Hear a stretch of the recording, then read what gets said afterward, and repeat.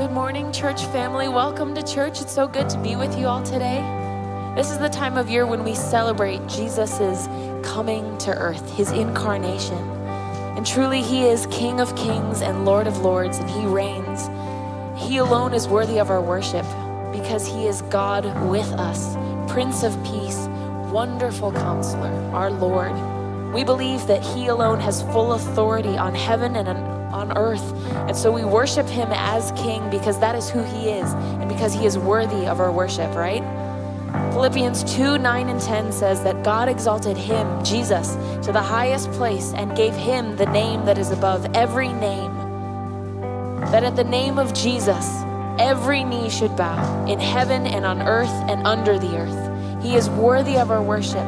We seek him, we thank him for coming, and we praise him. So let's gather together and let's worship together this morning. Let's sing, church. Oh, come, let us adore.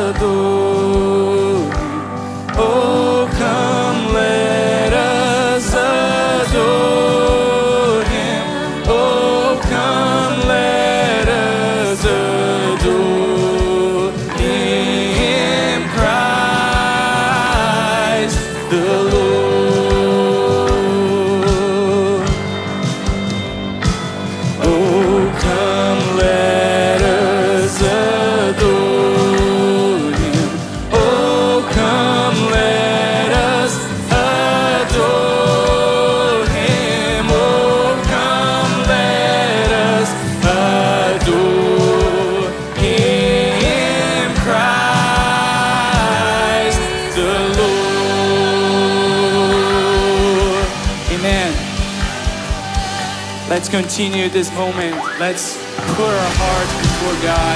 Let's worship Him. Let's praise Christ our Lord this morning. Let's do it together.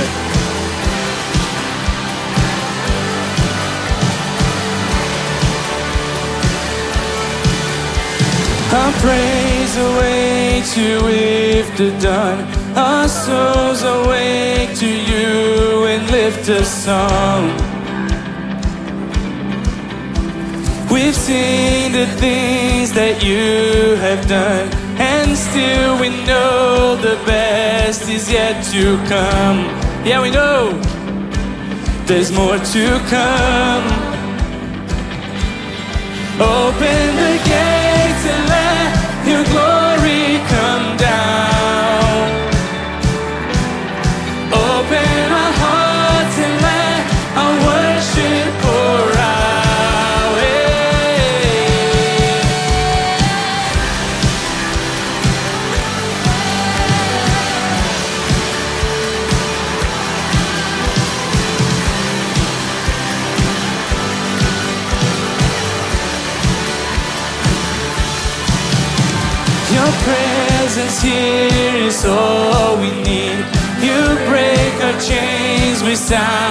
victory.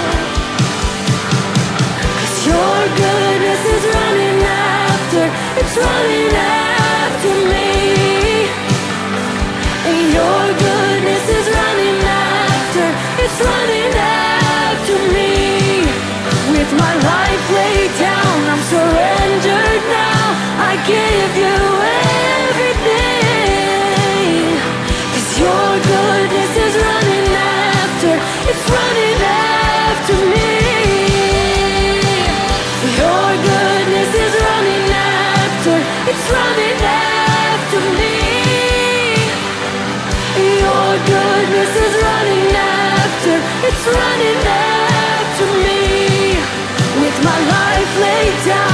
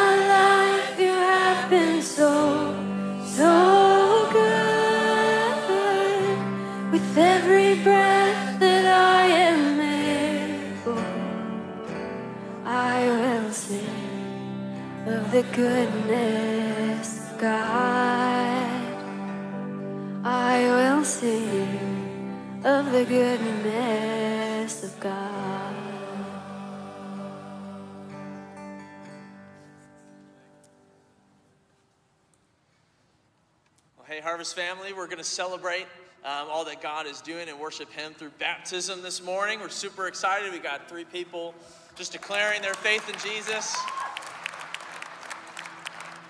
This is Tad Collette.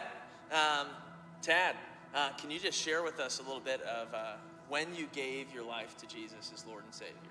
Yeah, so when I was three years old, uh, I was about to go to bed, and I asked, I told my dad I wanted to uh, have Jesus in my life, and he prayed over me, and I've known him ever since. Wow. Well, praise God for that. And then, so since then, where have you seen God moving and working in your life? So I've known him most of my life, but I think, especially in a public high school where everyone's focused on money and social approval, uh, I've just been focused on uh, keeping to God's word and what He wants me to do. Yeah, amen. That's His Holy Spirit giving you the strength to do that. Yeah. It's hard to do. And uh, so you're here today in front of your church family. Why is it that you want to be baptized? I want to publicly profess my faith in Jesus Christ. Amen. Praise God. All right, dude. Well, Tad, it's upon your profession of faith that I baptize you in the name of the Father, the Son, and the Holy Spirit.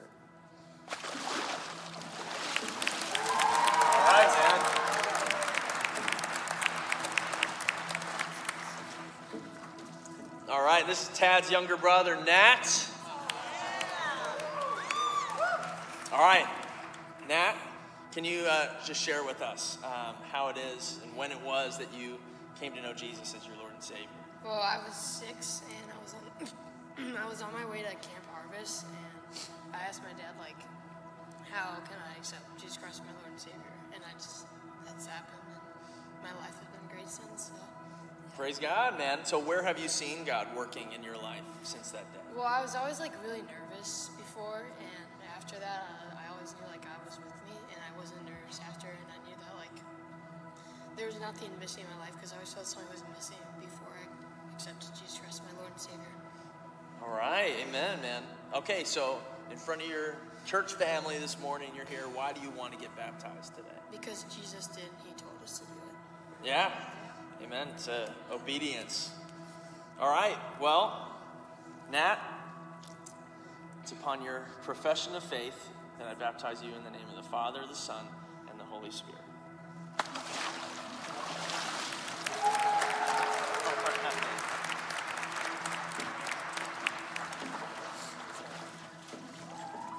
All right, everyone. Last, last but not least, this is Eden Kim. Um, Eden, can you share with us um, when you came to know Jesus as your Lord and Savior? I grew up in a Christian household and I accepted Christ for the first time when I was four years old, but I didn't understand what it meant to fully follow Him. Um, I would go to church on Sundays and I would do AWANA, but it was more because it was a routine than something I actually wanted to do. I knew a lot about who God was, but I didn't know who He was personally as my Lord and Savior. Um, I would tend to be really worried and anxious about a lot of things, and I would go to people who didn't quite know the Lord, and they would give me a lot of worldly perspectives, and I would always try to gain their approval. It wasn't until probably halfway through my junior year when I realized who I surround myself with makes a really big difference in how I view my relationship with the Lord. Yeah, and that's when you surrendered to Him. Yeah. Amen. And so since then, Eden, like what has God been doing in your life? He's just given me so much peace, and I know that I can go to him for anything. Um, he's given me people in my life that I can go to, and if I ever need anything, they'll always be there to pray for me and to give me some biblical perspectives on a lot of things. Um, I now go to church and I read my Bible not because it's like a routine, but something that I want to do. And um, I now just don't know about who God is, but I know who He is in my life. All right, that's amazing. And Eden, why do you want to get baptized today? I was dedicated as a baby, but I want to make it my decision to fully surrender my life to the Lord. Amen. All right, Eden. Based on your profession of faith, I baptize you in the name of the Father, the Son, and the Holy Spirit.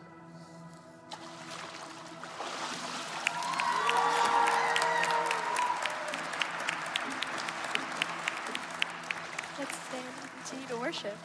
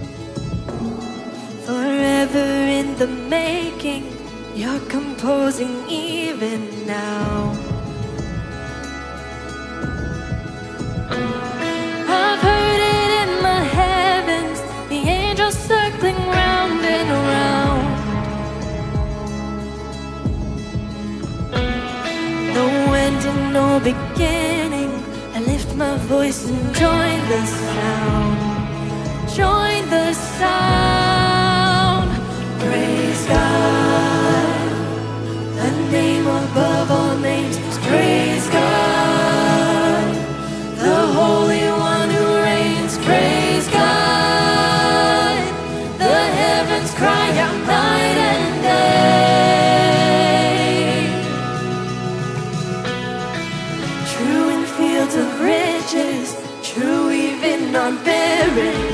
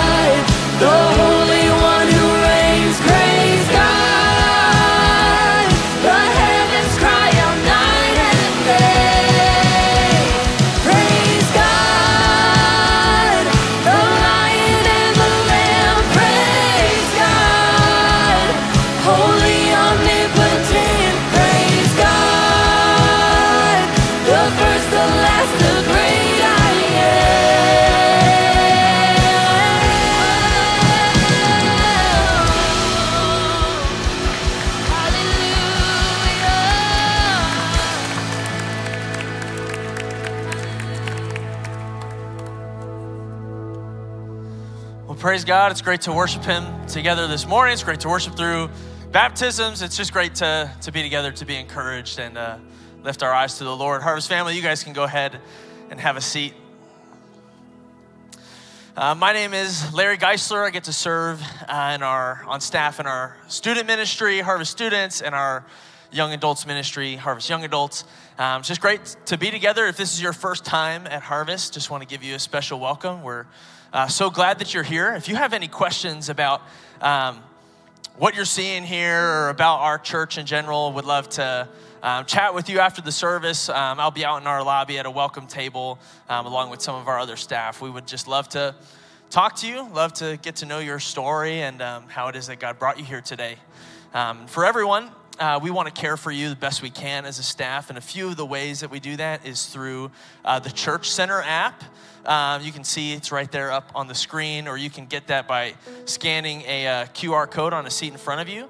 Um, but two things uh, really important to do while you're there. You can go ahead and take your phones out right now if you want, uh, is to check in and let us know that you're here. Um, we want to know if our church family is here on a regular basis, and if not, we want to be able to reach out to you and see how you're doing. Um, second of all, if there's anything on your heart or your mind that you're praying for, either a, a, trial or a hope, a desire you have that you're praying for, we want to be praying with you um, as well. So please uh, send in any prayer requests and know that your um, church staff is going to be praying for those um, throughout the weeks. Um, we hope you had a great uh, holiday this week. Um, a lot of reasons for us to be thankful and to lift our eyes up to the Lord.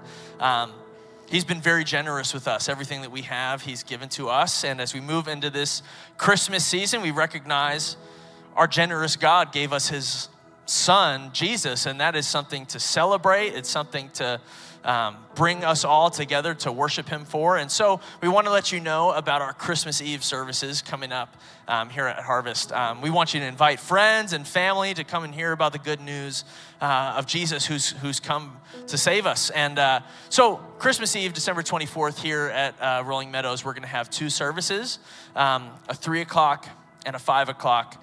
Um, that five o'clock is going to be at any of our campuses. So if you normally attend one of those, you can feel free to attend any of the other campuses. The three o'clock is here, Elgin, uh, and Crystal Lake. So we hope that you'll join us and bring along some friends and family.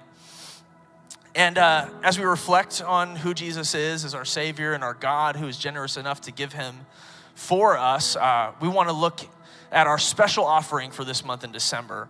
Um, to pre- prepare our hearts for that, I want to read this uh, scripture over us. It's 2 Corinthians 9 11, which says this uh, You will be enriched in every way to be generous in every way, which through us will produce thanksgiving to God. Meaning this uh, each one of us who are in Christ have been enriched by God's generosity and that He gave Jesus for us.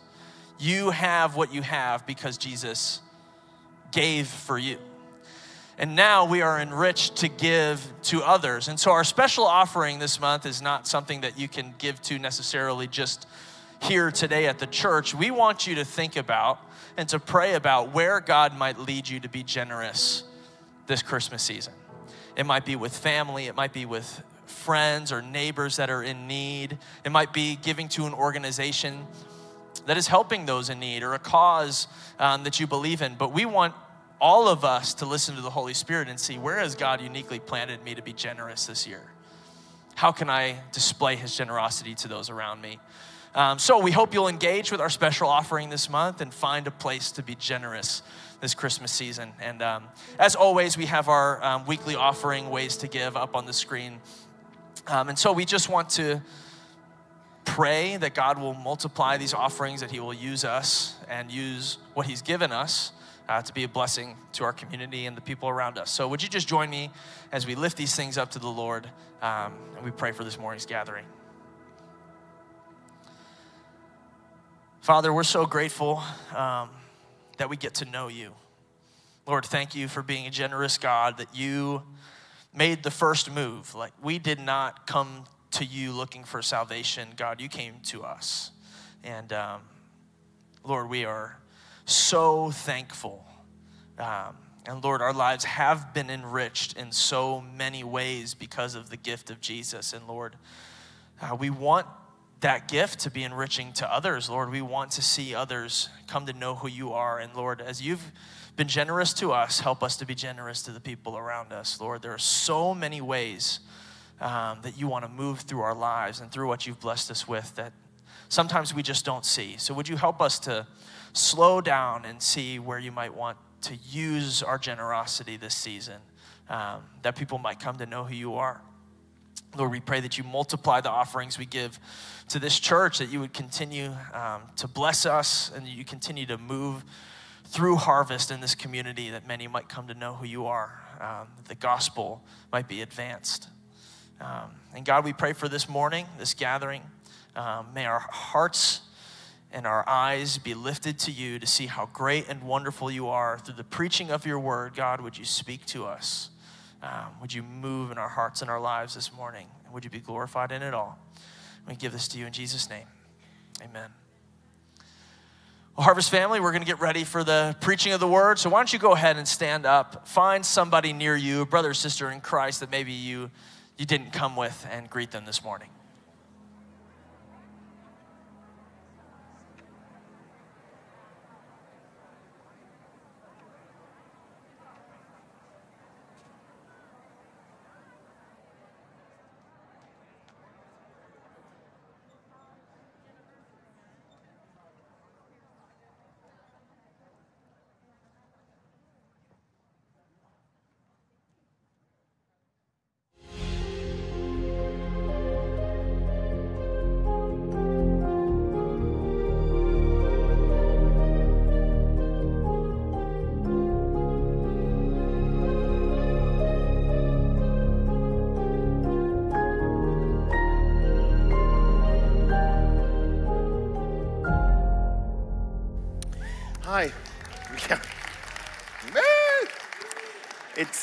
It's great to see you. If you are newish here, my name is Jeff. I uh, get the privilege of teaching the Bible here at Harvest, and so you're going to need a Bible.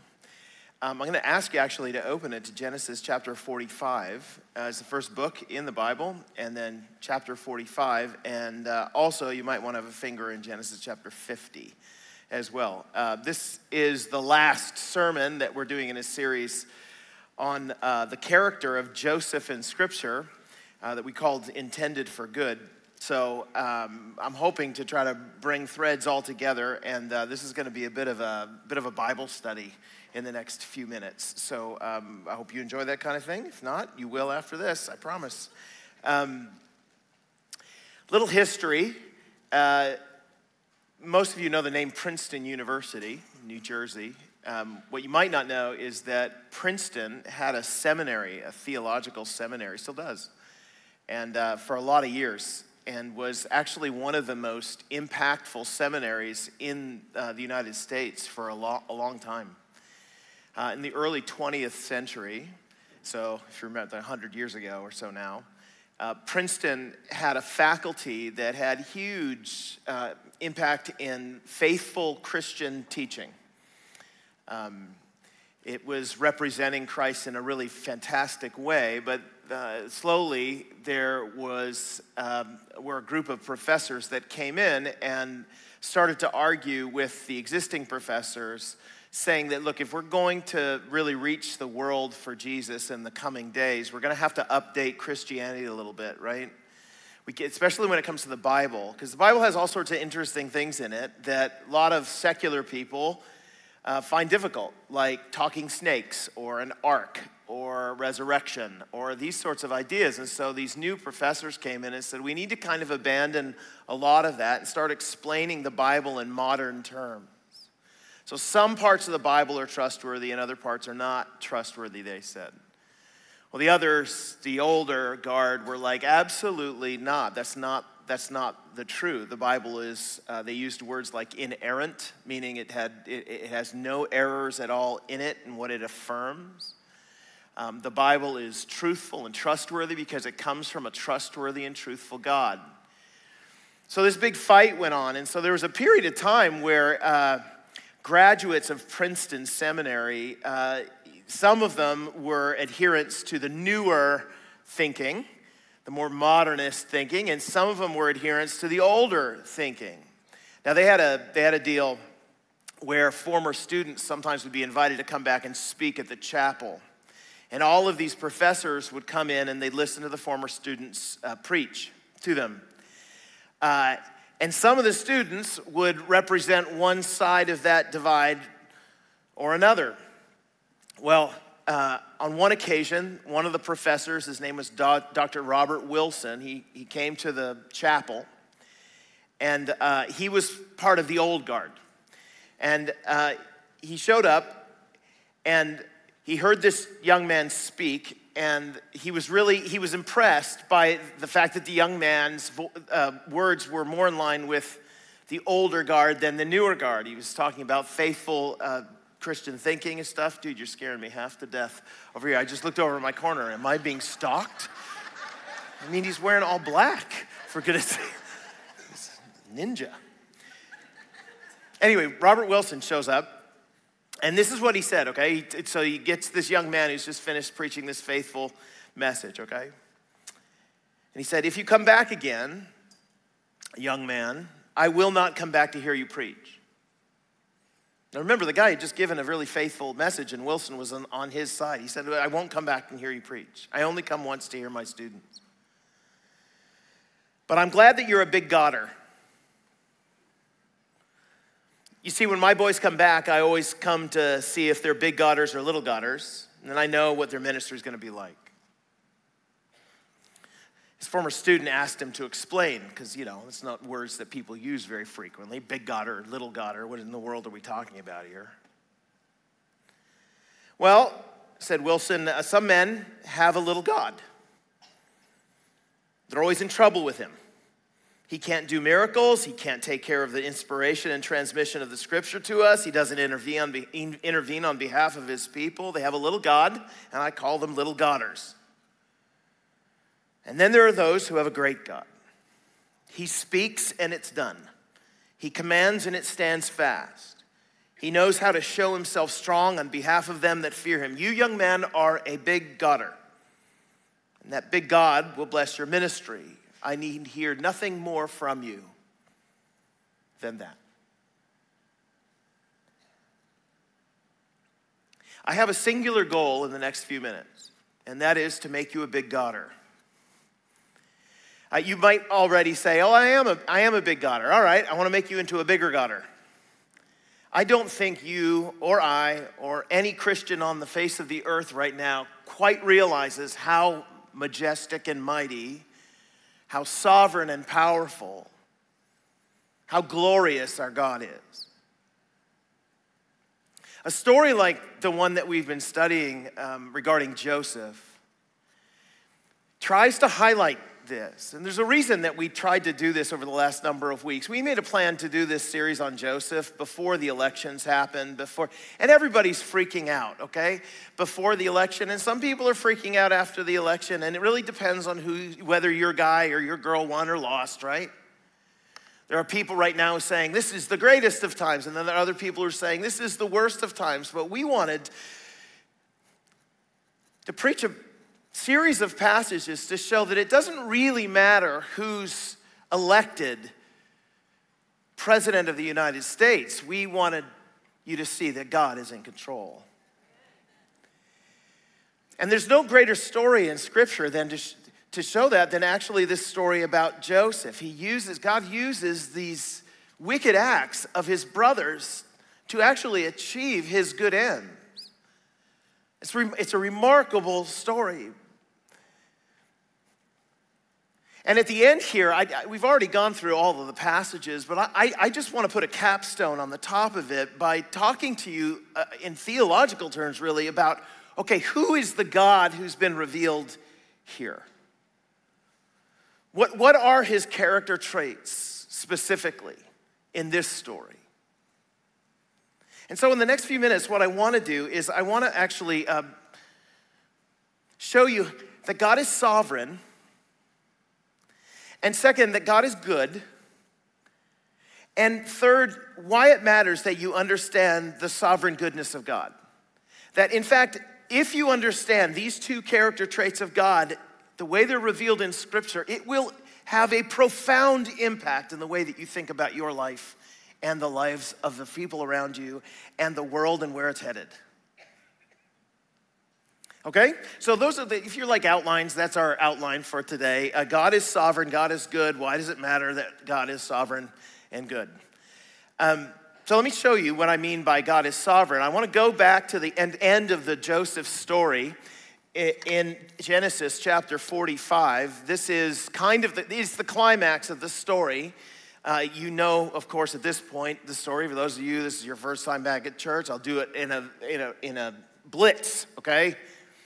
Uh, Joseph gets offside with his brothers who decide to kill him. They throw him in a pit. Instead of killing him, they, they sell him off to some traders. He ends up in Egypt where he is in Potiphar's house. Uh, Potiphar's wife comes on to him. She lies about who did what, says Joseph is the one actually who came on to me. He ends up going into prison because Potiphar's not very happy about this. He gets, sends Joseph into prison. Things are not going well for Joseph. It seems like he's descending step as I step further into pits. He gets into prison, and uh, there are a couple of guys there who are servants of the king. They have dreams he says, they, they ask Joseph, hey, can you interpret dreams? God, he's like, yeah, I, I, serve the one true God. And so he tells one of the guys, hey, uh, your dream's really good. You're going to be restored to your position. And then he tells the other guy, who's very excited to hear, you know, oh, you're giving out good interpretations? Here's my dream. And the other guy's like, or, or Joseph says the other guy, uh, actually, you're going to die in a couple days. So, so those things come true. The one guy goes back up to the uh, back up to the castle and forgets Joseph. Joseph's like, "Hey, don't forget me when you get up there. Tell Pharaoh that I'm unjustly punished in this in this prison. This is my chance to get out." Guy goes back up there, forgets. 2 years later, Pharaoh has a has a dream and the guy's standing there going, Oh man, there was a guy I knew one time in prison who, had, who could interpret dreams. You should talk to him. Pharaoh gets him. Joseph comes up, interprets the dream, and says, Look, there's going to be a whole bunch of famine in the next while. If you're a really smart guy, you'll put somebody in charge who can collect uh, grain at the present moment so that you'll have it for lots of years in the future. While the rest of the world is starving, Egypt will be thriving. Pharaoh's like, Why not you?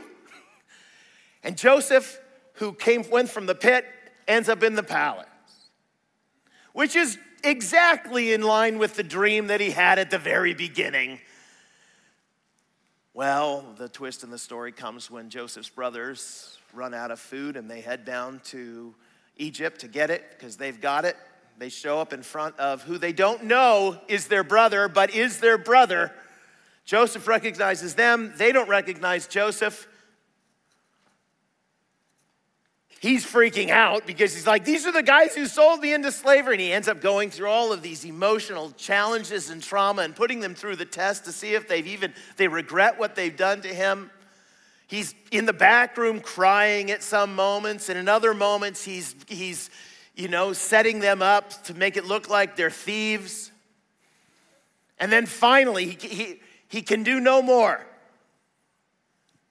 And he says in Genesis 45, verse 3, I am Joseph. That is the great moment. He's, he's in the throne, sitting in the place of Pharaoh. There below him, knowing full well that they're guilty of selling their brother who they think is dead. And then he says, I am your brother. And they say, Oh no. Actually, they say nothing he said to his brothers, Is my father still alive? But his brothers were speechless. I imagine they were. They were stunned to realize that Joseph was standing there in front of them. And he said, Please come closer. uh, no thanks, we're good over here. So they came closer, and he said again, Look, I'm Joseph, your brother, whom you sold into slavery. But don't be upset. You sold me into slavery. Don't be angry with yourself for selling me to this place because it was God who sent me here. Ahead of you to preserve your lives. This famine that's been ra- that's ravaged the land for 2 years will last 5 more years and there'll be neither plowing nor harvesting. God has sent me ahead of you to keep you and your families alive and to preserve many survivors. So it was God who sent me. It's almost like he's repeating something to them. And that we who read it are thinking, oh, so they sold him into slavery. Wicked act, right? We agreed on that? Selling people into slavery, not a good idea? Yep. Okay. I'll take your silence as acquiescence. Okay? wicked act. You sold me into slavery, but God sent me into slavery. Same act, two different agendas. God is the one who sent me here, not you, and He's the one who made me an advisor to Pharaoh and manager of his entire palace and the governor of all Egypt. So the emphasis here is this is, is basically Joseph's looking back upon what's happened to him and with the knowledge that he has at this present moment and seeing the end goal that God was after, he says, Look, I, I get it. What you guys did was wicked. You sold me, but I'm here because God put me here. This is one of the great statements in Scripture about the sovereign providence of God. That's the theological language that we use about it. When we use the word sovereign, we, we're talking about his kingliness, right?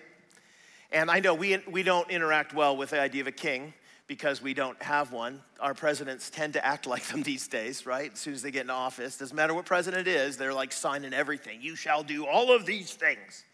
Well, that's the way that the kings used to act. That, listen, if you, if you were to say, like we say sometimes, that's not my president, you know, we heard people say that, and it didn't matter who the president is, half the, half the population, like, that's not my president. If you said that about the king, you would probably lose your head. That's not my king. Mm, okay. Because the sovereign, the king, has rights to do whatever the king wants to do. Period. There is no law-making structure. It doesn't need to be passed through Congress or some sort of parliament. He just says it and it's done. That's what we mean when we say God is sovereign. He doesn't have to ask anyone's opinion. He doesn't need to whip up the votes. He says it, done. He's sovereign. we use the word providence, meaning the way that the world works together and the actions of human beings and the weather and all of these circumstances all work together to achieve his end. So his sovereign providence is his kingly control of all that happens. And I gotta be honest with you, when you start talking about sovereignty, the Bible has a lot to say about how sovereign God is. You have, you, you have no idea how in control God is. So let me, let me take you on a tour. Let's ask the Bible the question um, what do you have to say about the control of God? What stuff does God control in the world? And are there any areas that He does not have sovereign control? Remember, He says it, it's done.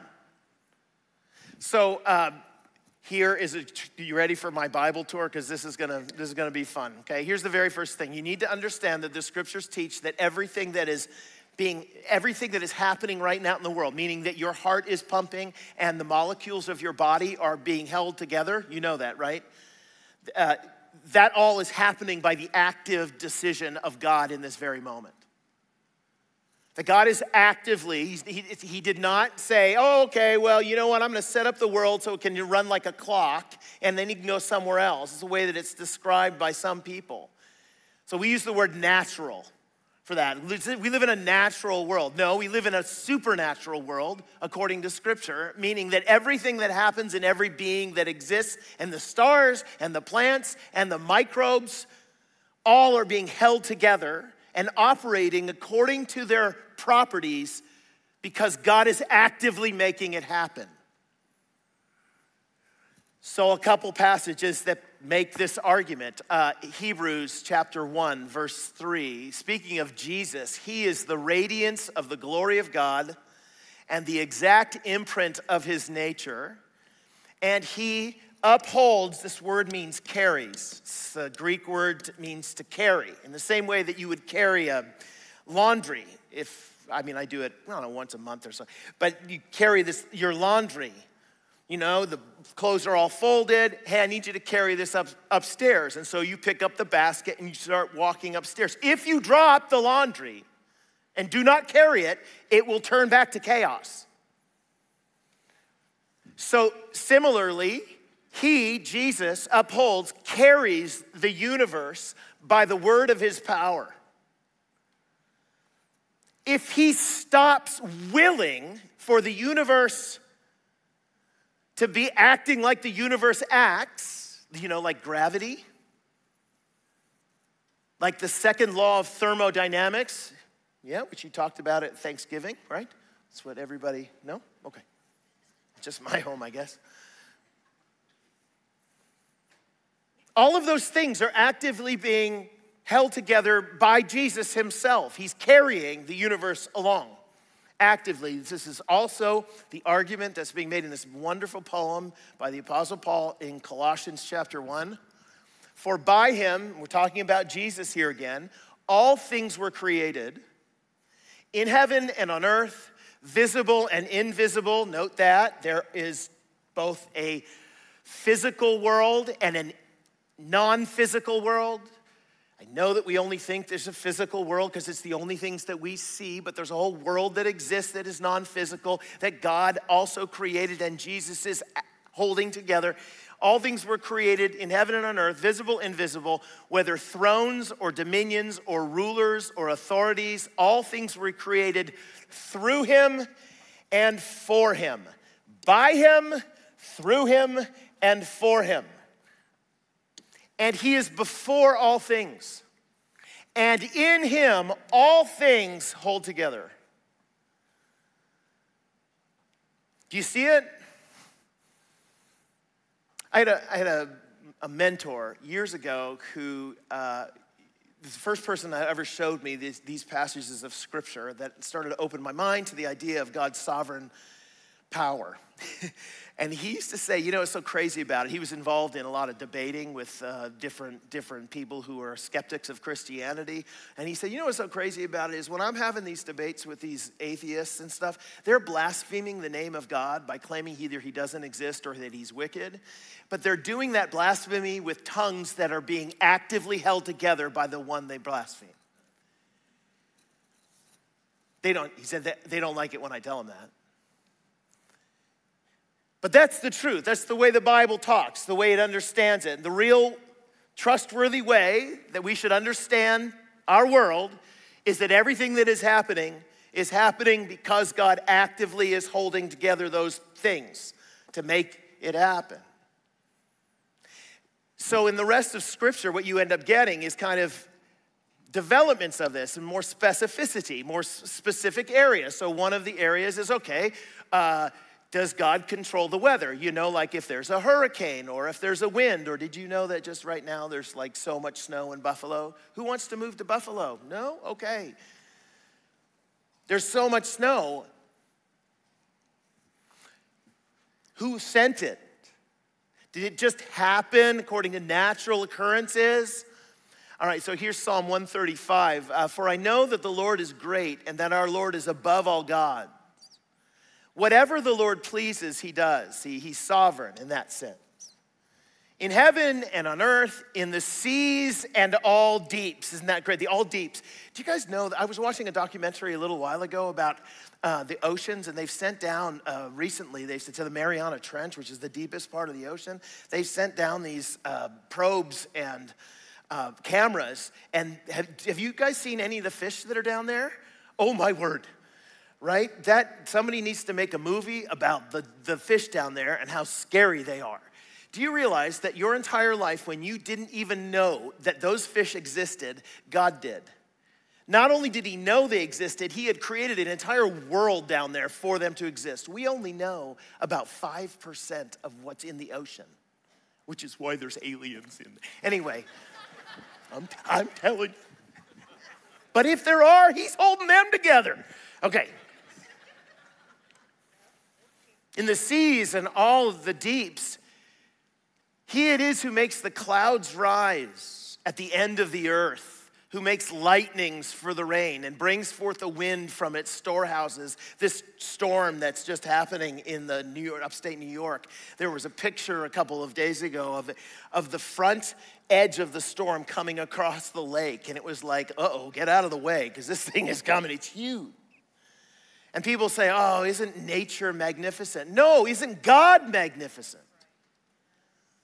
I know we want to depersonalize it until we have feel like we need to because it has so much order, and then we say Mother Nature. No, God. Job 37. You always got to be careful a little bit with Job because some of his friends are idiots. So some of the stuff they say is like, "Hmm." This is not one of the idiots. This guy Elihu, who's the last one to speak. All the idiots have talked, and Elihu's like, okay, I got to step in. He's a younger guy. He's got to step in, and he's got to kind of set them all straight. The, Lord, the next person to talk is God. But Elihu is kind of the one immediately before the Lord. Here's what he says To the snow, he says, he being God here. To the no- snow, he says, fall on the earth. Likewise to the downpour, his mighty downpour. He seals up the hand of every man, that all men whom he made may know it. Then the beasts go into their lairs, the bears that are hibernating right now were sent there by God and remain in their dens. From its chamber comes the whirlwind, and the cold from the scattering winds. By the breath of God, ice is given. And the broad waters are frozen fast. He loads the thick cloud with moisture. The clouds scatter his lightning. They turn around and around by his guidance to accomplish whatever or all that he commands them on the face of the habitable world, whether for correction or for his land or for love, he causes it to happen. You see that? He's got purpose in the storms. It's not that it's just this weird chaos and there's a butterfly effect because some, some fly flew one sideways in Singapore one day and now we've got a tornado. It's that the Lord determined that that fly would fly in that particular way and the tornado would be formed. This creates all sorts of challenges for us, guys. You know this, right? Because there's lots of people who die in the midst of natural disasters. But let's not make the mistake to say, oh man, this world's out of control. No, no. When tsunamis happen, the Lord sends them.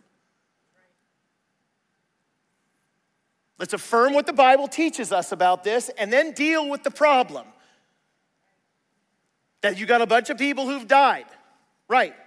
But the Lord sent the tsunami. That the Lord sends the ice, the Lord sends the wind, the Lord sends the hurricane, the Lord, the Lord, the Lord. Who's in charge? Who's the weatherman? The Lord. See now, Deuteronomy 32, that I, even I, even I am, I am He, sorry, there is no God beside me, says the Lord. I kill and I make alive. See, it's not just the, the it's not just the created order uh, in terms of the weather and, and, and non-personal things. The Lord, the, the, the situations of our lives, death and life, calamity and happiness. These, all of these things are part of God's ordered design of His world. I know that we don't like this one. Well, God, God can't kill. Well, He does, though. The scriptures affirm it. There's no God beside me. I kill, I make alive, I wound, I heal. There's none that can deliver out of my hand.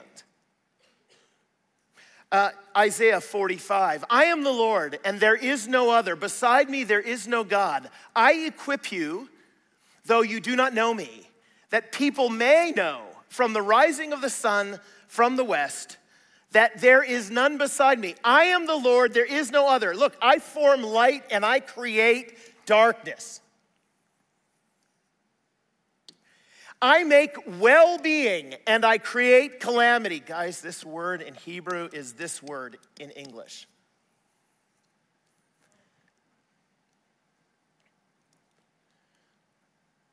He's speaking, of course, about the calamity, the, the, the, the, the bad things that happen in our lives. Joseph is in prison and the guy forgets about him from the Lord. Joseph is lied about by Potiphar's wife. Potiphar's wife, yes, from the Lord. You can start seeing how this gets a little bit difficult because you're like, well, wait a minute, I, God's not responsible for evil. Right, He's not responsible for evil. But then how can that be? Well, hold on.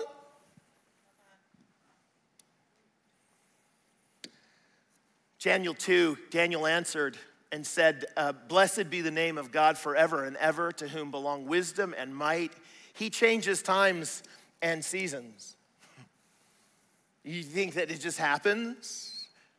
That, that just one day, oh, well, it's that time of the year again. R- right, it is that time of the year again. Isn't it amazing that we have such a faithful God that every year he takes joy in changing the seasons?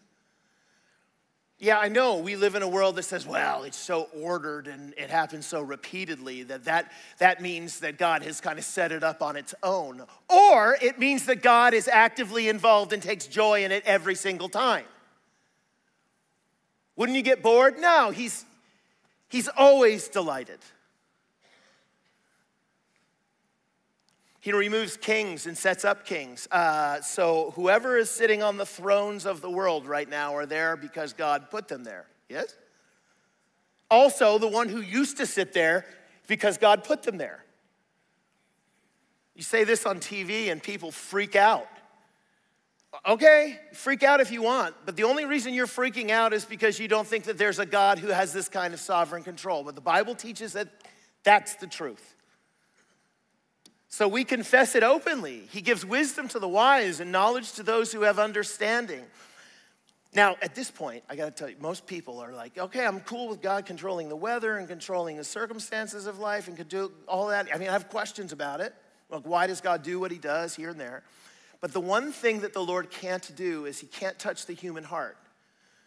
So I bring this up many times in theology classes. Probably have said it from a pulpit before. Uh, there's a movie Bruce Almighty. There's he can do anything he wants. He becomes God for a day or several days. He can do anything he wants, but he wants his girlfriend to love him. So he can draw the moon closer to the earth.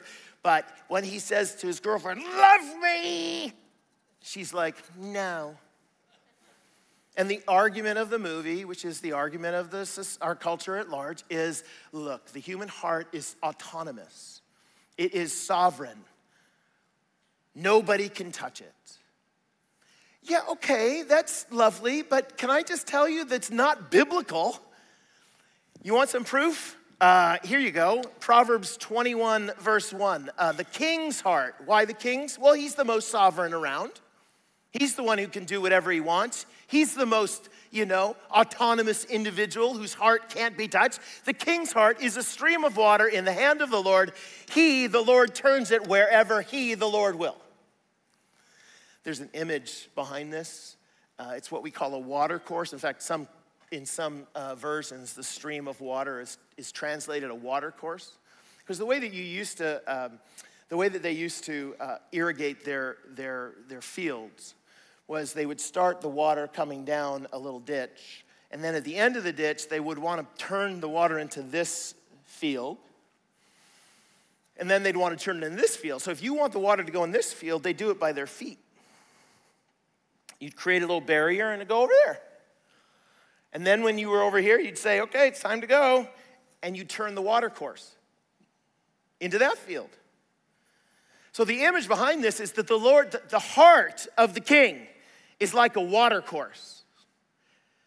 It's in the hand of the Lord. The, the Lord, by just turning his feet, can shift the heart of a king any way he wants. Well, that feels like it's against the rules. Didn't the guy in Bruce Almighty read that? I don't know, but he should have read this one. How about Ezra 1 1? Uh, in the first year of Cyrus, king of Persia, that the word of the Lord by the mouth of Jeremiah might be fulfilled. The Lord stirred up the spirit of Cyrus, king of Persia. This guy's not a Christian person, he's just a, he's a king. And the Lord reaches in, stirs up his spirit, so that he made a proclamation throughout all his kingdom and also put it in writing. So the law, this proclamation that this king made, was made because the Lord reached in and made this man want to do it. Exodus 7, verse 2, this is speaking, of course, of to Moses. Moses, hey, you're the Lord's telling him, you're gonna go and you're gonna meet with this Pharaoh, and here's what's gonna happen. You shall speak all that I command you, and your brother Aaron shall tell Pharaoh to let the people of Israel go out of his land. But I, the Lord, will harden Pharaoh's heart mean, I will strengthen it. I will, I will strengthen his resolve in such a way that he will act more stridently against you than he would otherwise had I not strengthened him. And though I multiply my signs and wonders in the land of Egypt, because at some point Pharaoh would be like, Ooh, that's kind of a lot of signs and wonders. Your God's bigger than me. But even though I'm going to multiply all the signs and wonders in the land of Egypt, Pharaoh will not listen to you. Why? Because he's a jerk? Well, yeah. Also because the Lord strengthened his heart. Uh, having fun yet? Here we go. 1 Samuel chapter 2. Eli is the priest of the people, and he has sons who are working for him. Their names are Hophni and Phinehas, and they're jerks. They're sleeping with women at the gate who come to worship. They're stealing the Lord's offering. And Eli's like, guys, you can't be doing this. No, my sons, it's not good, it's no good report that I hear the people of the Lord spreading abroad. If look, if someone sins against man, God will mediate for him. But if someone sins against the Lord, who can intercede for him? But they, Hophni and Phinehas, would not listen to the voice of their father, for because it was the will of the Lord to put them to death. Why are they strident and I'm disobedient to you, Dad? I hate what you're going to say. Well, because the Lord had decided to judge them. Period. Joshua chapter 11 people are going across the land and they're and they're conquering the nations. But there was not a city that made peace with the people of israel except the hivites. The hivites were the only ones who were like man this is a really powerful nation. We should probably make a peace deal. But everybody else even though israel was wiping everyone else everyone else said no we're fighting. They took them all in battle. Why? For it was the lord's doing to harden their, meaning the people of the land, the different nations, their hearts, that they should come against Israel in battle in order that they should be devoted to destruction. The Lord decided he was going to judge the people and he didn't want them backing down, so he strengthened their, their hearts. We could do this all day.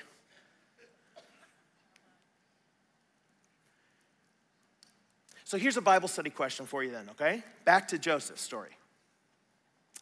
Um, who sold Joseph into Egypt? Who sold him? His brothers. Who sent him? The Lord. Who sold him? Brothers. Who sent him? The Lord. So the same action, the sending slash selling, was done by both the brothers and the Lord for a purpose. How in the world could that possibly be? So here's the way that we in theology try to explain how God's sovereignty is working with human beings. Okay, ready? We say that human beings are an immediate cause, okay, to an action. So when I say that, uh, in the case of Joseph, the action was the selling of the, him into, into slavery and the immediate cause was the bros. Okay?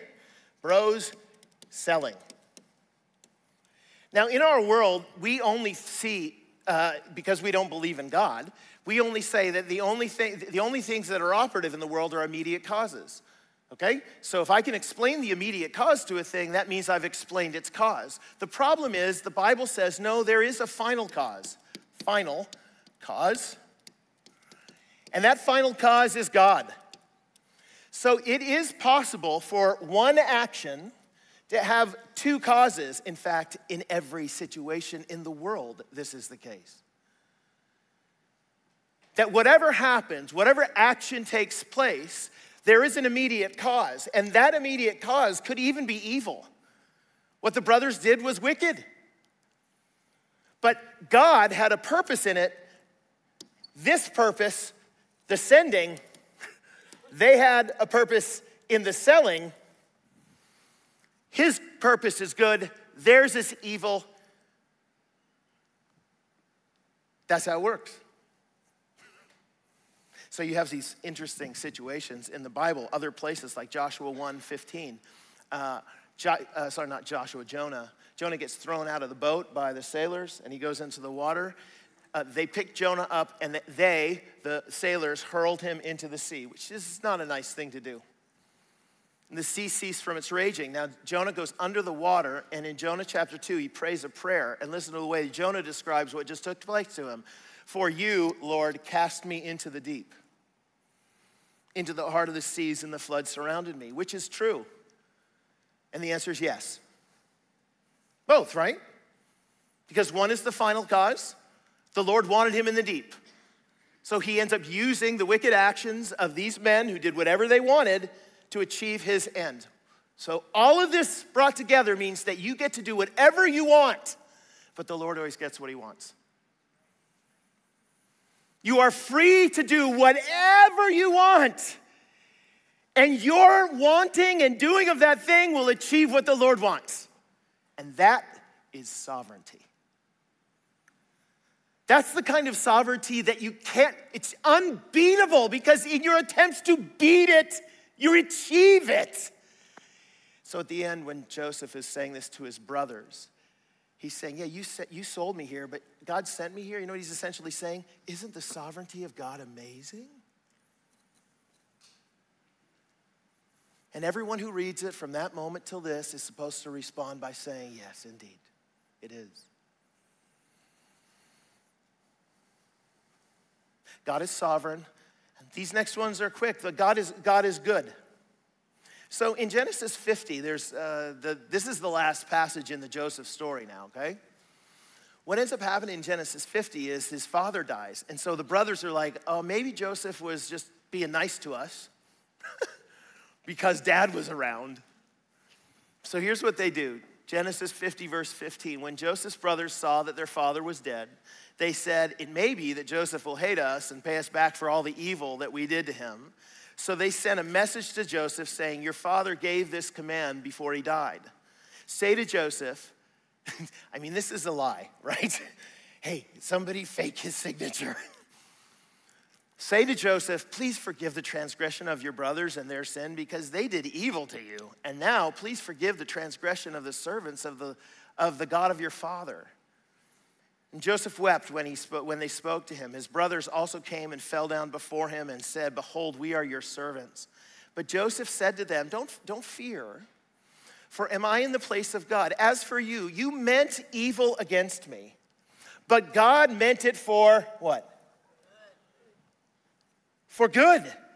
To bring about specifically the bringing about that many people should be kept alive as they are today. So don't fear, I'll provide for you and your little ones. Thus he comforted them and spoke kindly to them. Don't you, don't you see that God has a purpose in this? It's not that God's sovereignty is arbitrary and the Lord's in heaven going, whoocha, whoocha, lightning striking everywhere. it's that the Lord's goodness controls his sovereignty. My, uh, my maybe an illustration will, will help. My, uh, when I asked my wife to marry me, it was actually a very uh, rough day for her. I know it sounds weird and wrong. But the reason it was a rough day is I had already set up this entire uh, day in my mind. Okay, we are gonna. I'm gonna pretend that we're gonna go ring shopping because I'd already bought the ring from the guy we were gonna go ring shopping from, and he was gonna play the part of like, hey, here's a bunch of the stuff.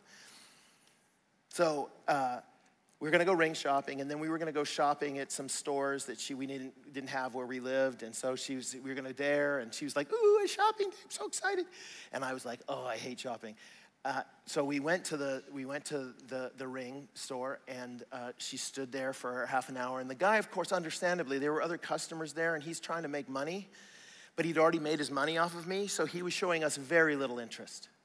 And she was like, I hate this man. He's terrible. We're never buying a ring here. And I was like, well, just be, don't be too rough on him. He's, she didn't understand what was going on. We left that, we left that place and we went shopping uh, for, at the clothes store. And of course, you know, listen, I, I, I don't like shopping at clothes stores now. So you can imagine if I don't actually have to be there because it's just a part of a ruse, yeah, I'm not showing a lot of interest, which I found out from her was not a good thing uh, as we were shopping, she was like, Why do you not love me?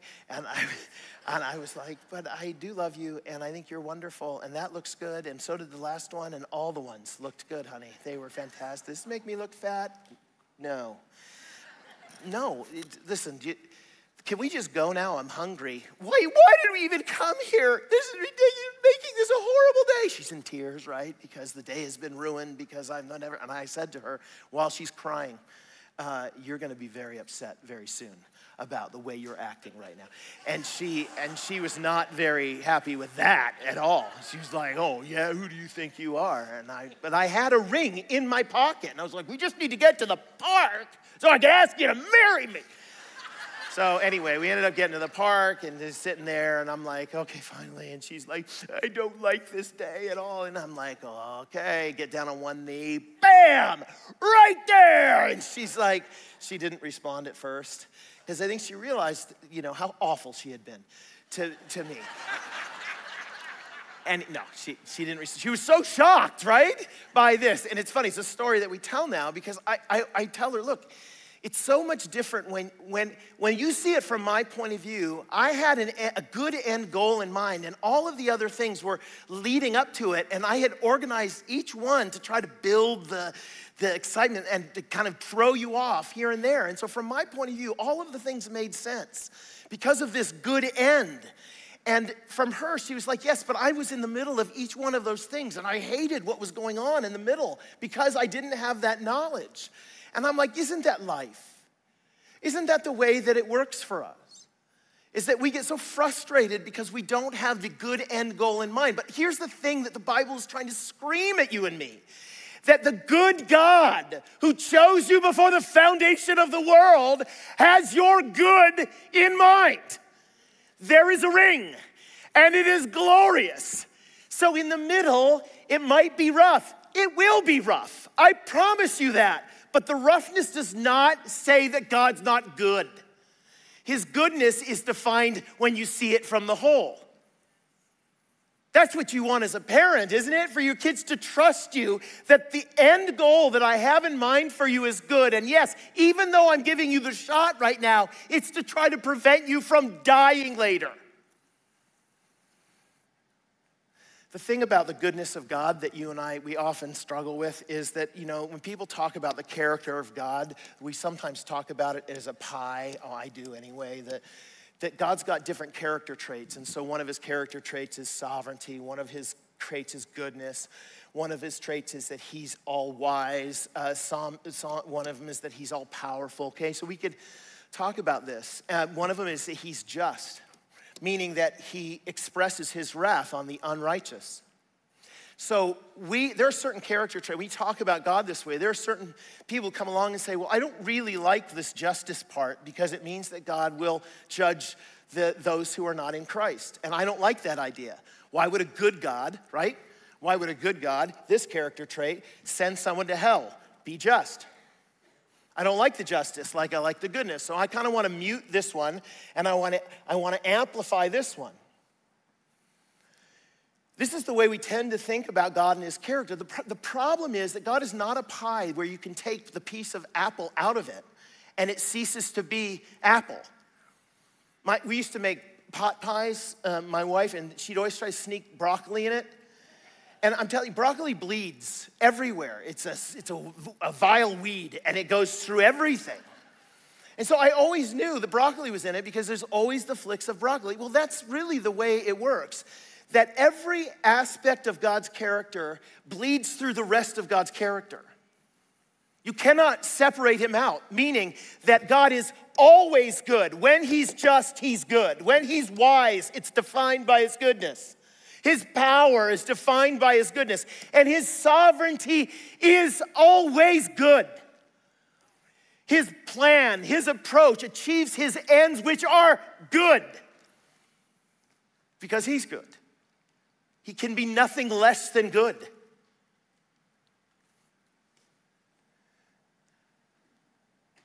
So, why does it matter? Well, look, um, Plainly put, uh, it matters that we see God as sovereign and good because it's the only way we'll be able to suffer well.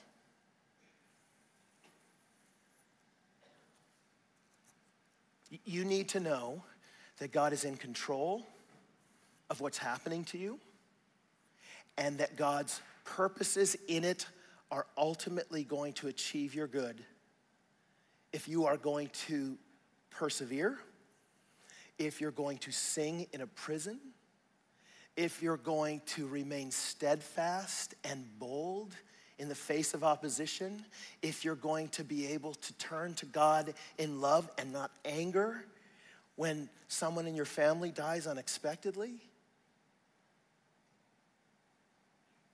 So, look, let me finish all this just by giving you four little vignettes, little illustrations, stories of what happens when people know the sovereign goodness of God. The first of them is actually in Scripture itself. It's this passage in Acts chapter 4. So, uh, Peter and John have been imprisoned, and they've been told by the religious leaders stop preaching in the name of Jesus, or we'll kill you, like we killed Jesus.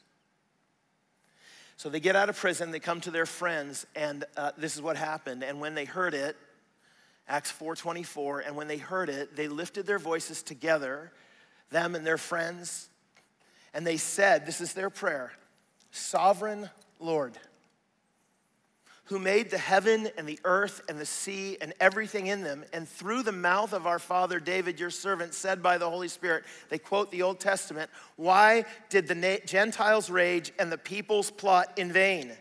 the kings of the earth set themselves and the rulers were gathered together against the Lord and against his anointed. So we were told all these years ago that people were going to plot in vain against the Lord and his anointed. This was written hundreds of years ago. They quote it and they say, For truly in this city right now there were gathered together against your holy servant Jesus, whom you anointed, both Herod and Pontius Pilate.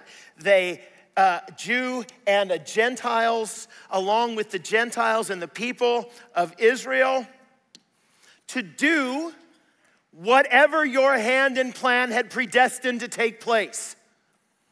They killed Jesus, and it was the will of the Lord. Amen?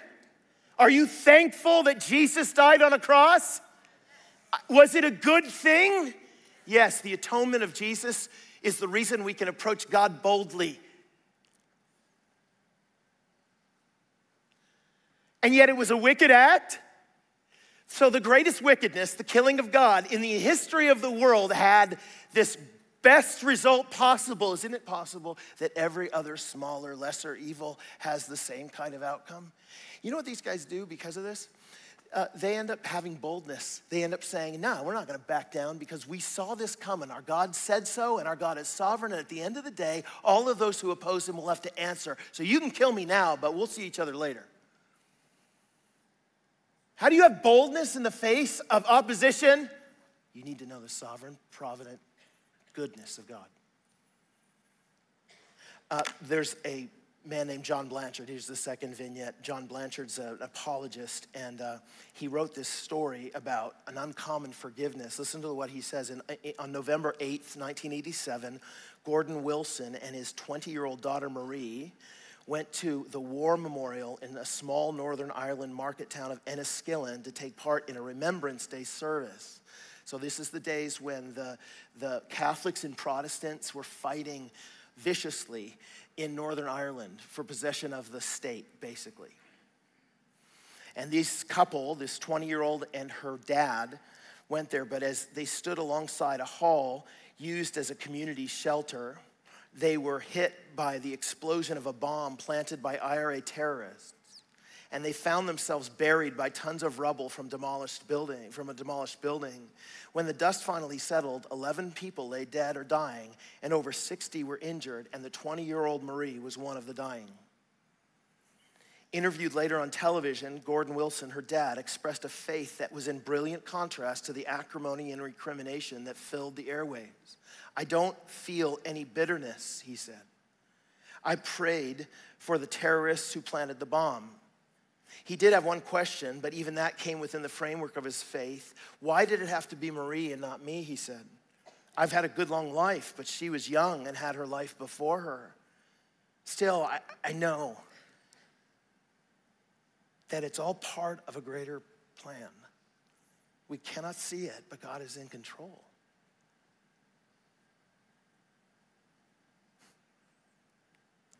Third vignette, uh, John Piper, uh, years ago, came down with prostate cancer. And he uh, wrote, a, wrote an article, and the article was called Don't Waste Your Cancer. Now, he had written a book years before called Don't Waste Your Life. And so it was a bit of a play on words. And so when he writes Don't Waste Your Cancer, a lot of people are like, wait, what? What do you mean waste your cancer? In it, he said this What God permits, he permits for a reason. And that reason is his design. If God foresees molecular developments becoming cancer, he can stop it or not. If he does not, he has a purpose. And since he is infinitely wise, it is right to call this purpose a design. Satan is real and causes many pleasures and pains, but he is not ultimate. If you don't believe your cancer is designed for you by God, you'll waste it.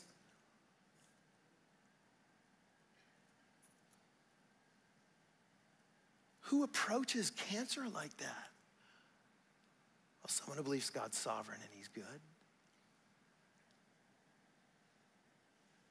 Third one, there was a pastor who was preaching a series of sermons uh, to his church, and uh, he decided they were on the character of God. You know, the pie?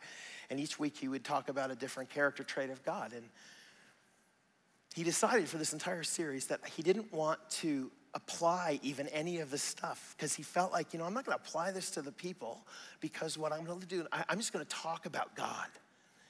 And I'm going to let the Holy Spirit apply it to people. So he did this. Now, about eight months later, there was a young woman in his church who inexplicably had a stillborn child. He went to the hospital, spent time with them, did the funeral. Weeks later, he was at church, and this dear couple was there, still grieving. And they walked forward. He put his arm around the husband and said, are you, How are you guys doing? And the husband, through tears, said, The only thing that kept, has kept us is knowing that the true God is the God you described.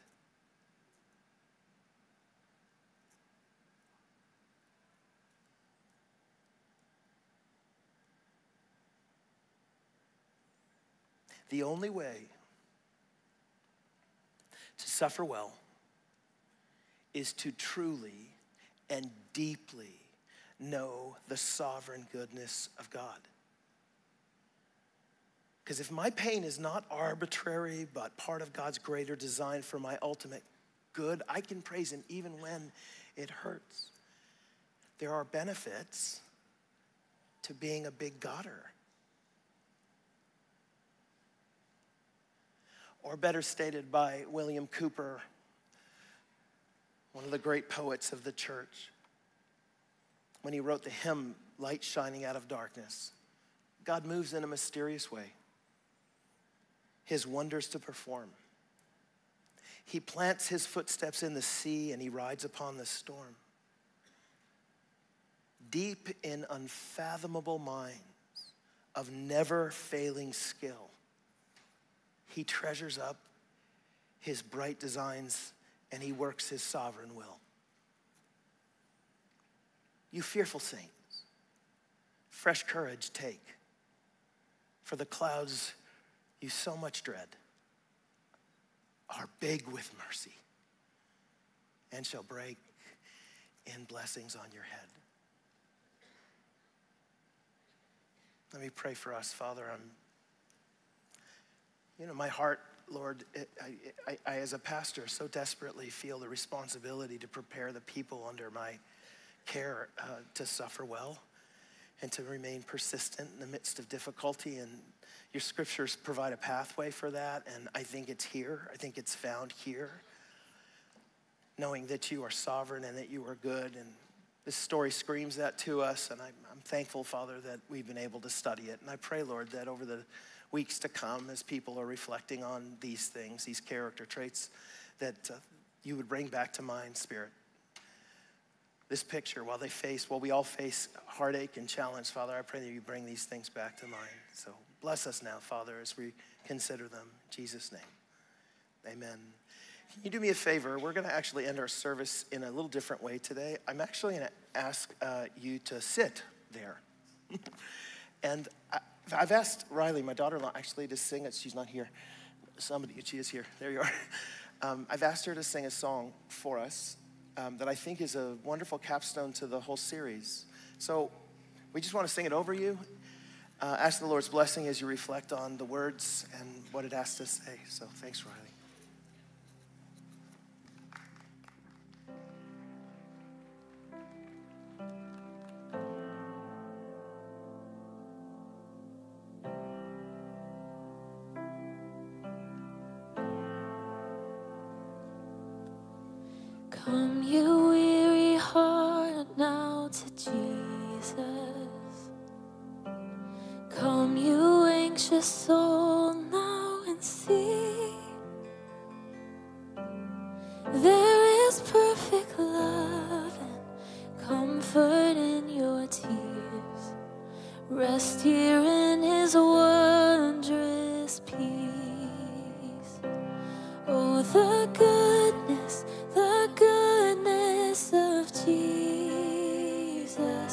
Satisfied, He is all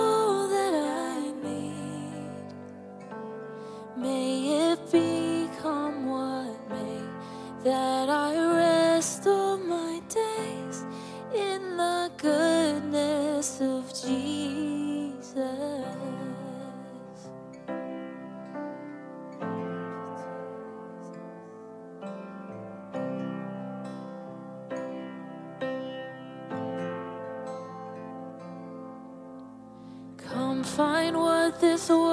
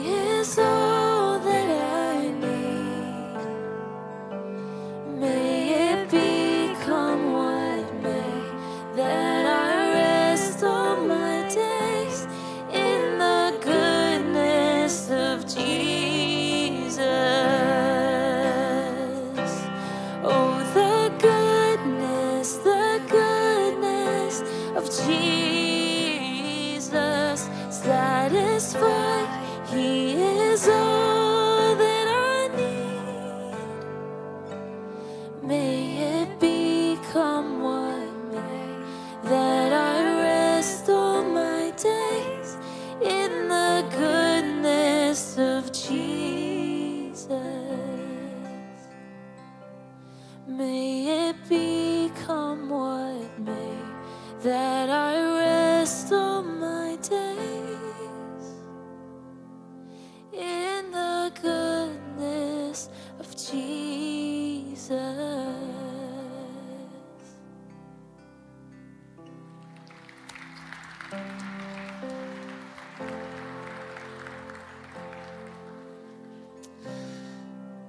So if if our God really is as sovereign as was described and he's as good as was described, he really would be all that we need then. What else could we possibly need in this world, in this life? other than our God, other than Jesus. Um, now, that doesn't mitigate the struggles and the trials that we go through, and think they're designed to draw us to Him, not away from Him. And so, if there's something that you're walking through that's been particularly difficult and struggling to see the goodness of, of God in, uh, we would love to pray with you. Uh, we're going to have people all lined up here who want to take their time to pray with you and to bring those things before the Lord that you might see His goodness in it. So please come for prayer before you leave if, if that's helpful to you. Um, if it's your first time here at Harvest, um, I'd love to chat with you out in the lobby. If you have questions about our church or anything that you've you've seen today, please stop by before you leave. Um, and for all of us, as we remember the, the generosity of our God, let's find those opportunities to be generous to others in this season. Uh, that we might be a blessing, that we might be um, representatives of God's generosity to the world around us. Um, and if you're really excited about Christmas as we leave, uh, actually, we're doing some Christmas decorating. So if you want to see Christmas trees and lights around the church this next month and you have some time, stick around and help us uh, decorate for the season. Um, but it's been great to gather together and worship. And as you leave and go on mission, um, for the Lord Jesus Christ, remember you are loved.